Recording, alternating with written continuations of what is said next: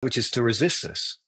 Right. And actually, if I look at America, and I don't, I, you know, I mean, I use America as an example because it's the world's, you know, greatest country. Um, but you look on the right, and there's resistance to clean energy, right? One pillar, one critical pillar that underpins this transformation and underpins the next era that's coming.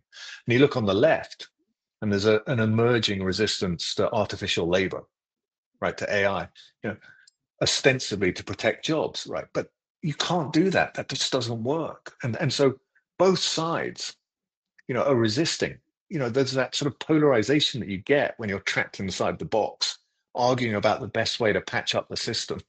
Right. And you need to get your head out of that box entirely, you know, just transcend that space and see what's coming. And and you don't have to trade one off against the other, right? You you build a system that has a superabundance of energy and labor. And my God, you've got the most extraordinary opportunities for your economy. It's it's just a you know, it's the most exciting space because, you know, essentially energy and labor, you know, are the underpinnings of wealth.